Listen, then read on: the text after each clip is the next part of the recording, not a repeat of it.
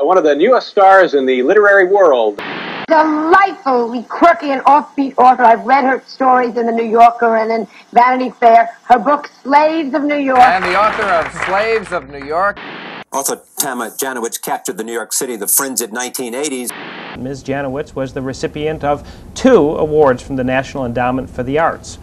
It's a pleasure to welcome back to this program author Tama Janowitz.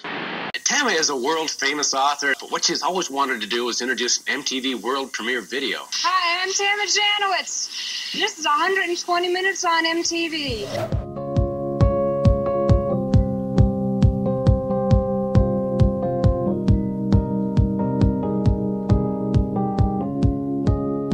I am reading a book right now, Slaves of New York. It's it's pretty dark. He wanted her to be like a real empowered, like the new Tama Janowitz. Here's the clue. Tama Janowitz and other 1980s writers shared this nickname with a group of young 1980s actors. What is the Brat Pack? That's it. Is this who's coming tonight? He's that photographer. She directed that movie. He's dating Madonna. And you, you're on the list. Can I take this home and frame it? The real celebrities here tonight are the writers. Jay McInerney, who read Bright Lights Big City, right? Who didn't? And Tama Janowitz. Bret Easton Ellis is only 21. All the best writers do it when they're young, um, so they have something fresh to say. Fresh is yummy. Old is, well, old. This company will not make shit anymore. We're also going to double down on the advertising budget. Chiat Day will be the only advertising agency we use, just like back in the old days. We're going to make Apple cool again. You know what? Just have a seat. If I ever see you kiss Tama Janowitz again, it'll be the last time I, oh, I shut come up. I on enjoyed that. I well, you know enjoyed what? that. I didn't. Well, I'm, I'm I sorry. was We insulted. stop it. There was nothing wrong with her. No, there was something between the two of you that I, I have forged territory with you, David. And you're all over her like cheap perfume, and then you took her gum. Hello, this is George Clifton. You still in town, punk? If so, Tama Janowitz is going to get barbaric on your ass.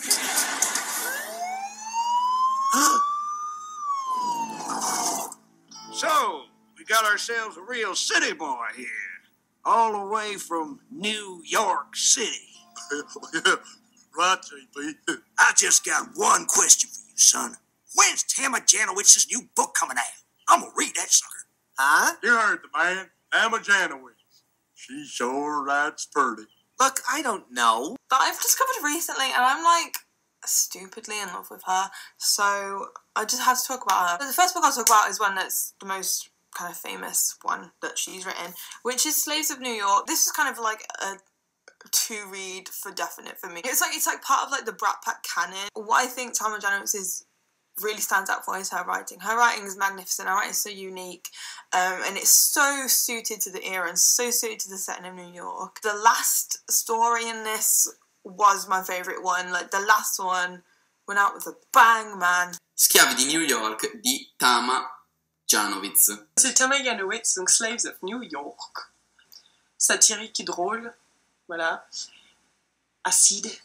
So today, when I was went to Goodwill, I was hoping it'd still be there so I could buy it. And I didn't know anything by who Jama Jar- Jarwitz was. Tama Janowitz è una scrittrice appartenente al Brat Pack. The second half that I got through was so kind of beautiful and touching, and I fell in love with everything about it. I'm trying to bring more literary merit to these novels that no one talks about from the 1980s, and I think Tama really, really deserves a lot more attention for what she kind of brought to the era and what she's brought to that literary scene. She's brought a lot to it. She's written a lot of novels, and she has a new memoir out this this year.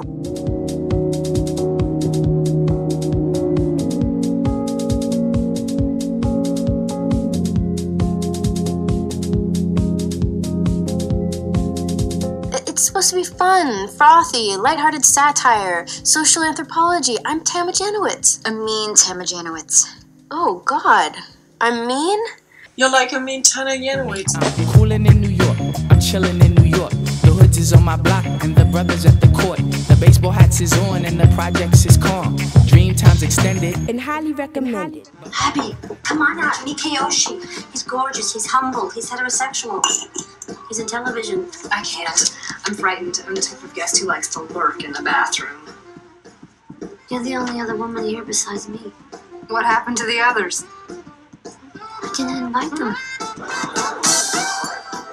Did you do the lousy little jobs first before you became successful as a writer? Well, well, no. I just, I just lived at the poverty level, and and somehow I was very fortunate because each time I thought I might have to go out and get a nine to five job, I would win a grant for my stories, or I published them in the New Yorker. So I just kept going marginally. But then this book just took off, so it's been extremely exciting. Exactly. How has your life changed now that you're on the bestsellers? I must say, it didn't really change. And and New York, you know, it's a, it's a tough city, and and I guess it didn't really change very much.